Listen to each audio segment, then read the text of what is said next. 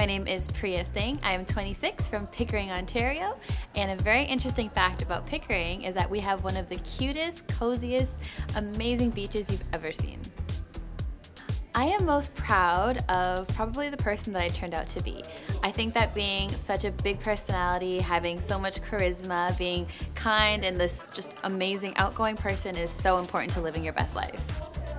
So if I have to share a memory that makes me laugh or smile, I'd have to say probably 90% of my life I'm laughing and smiling, so every day of my life is great memories, and I'm also really clumsy, which makes for great stories.